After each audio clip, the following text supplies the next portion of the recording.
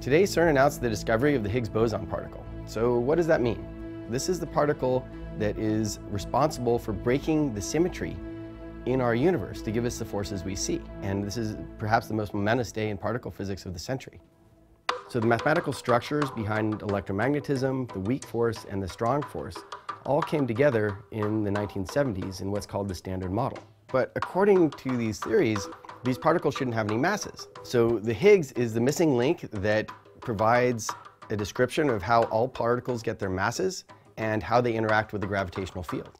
The Higgs boson has been the holy grail of particle physicists for the, the past many decades. But still, since the 70s, it's only been a theoretical construct. We've been trying to get evidence for the existence of this Higgs boson for decades now. And we threw in with Europe and an international collaboration to build the Large Hadron Collider in Geneva. It's like the most enormous machine shop you've ever seen.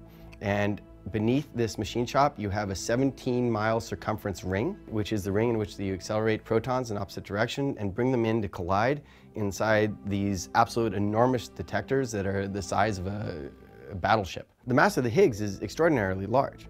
And this is why other particle accelerators until now weren't able to see it. In order to get enough energy to pop one of these Higgs bosons into existence, you have to take uh, other elementary particles and collide them with extraordinary amounts of energy.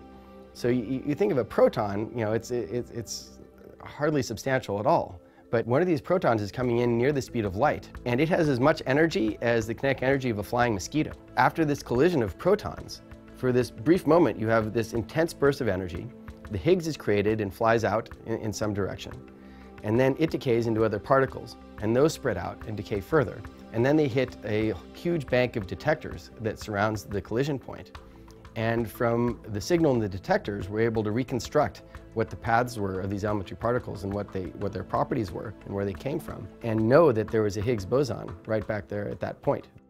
So we have the Higgs. What's that mean? What, uh, now what? Well, what it means is something very fundamental uh, about our understanding of the universe. We know that the universe came to existence as the breaking of this more perfect mathematical structure. So it's almost never clear what implications a new fundamental discovery in physics is going to have down the line in terms of engineering and what you can produce of practical benefit for society. But there always is one. It was Rutherford did the first experiments with uh, colliding other particles at higher energy into atoms going inside through the electron shell and actually colliding with the nucleus. And this was purely uh, basic science endeavor. But it turned out this, these physical discoveries, this description of atoms, had enormous implications. It led to the development of the atomic bomb and atomic fission for power generation. And then understanding this uh, allowed us then to also create nuclear fusion. Now that we know the existence of the Higgs boson, this is just as significant as finding out that, uh, in fact, atoms do have these hard little nuclei. As basic science, it's as fundamental of a piece. And we don't know what the implications will be decades down the line for this discovery, but they will surely be huge. But we have no way of knowing what that's going to be until we get there. Same way as Rutherford couldn't have foreseen nuclear reactors. I mean, for me, it's just fantastic to find out how the universe works. But the practical applications, you know, how are people going to make money off of it? Well, it's like, well, how much money did people make off the internet?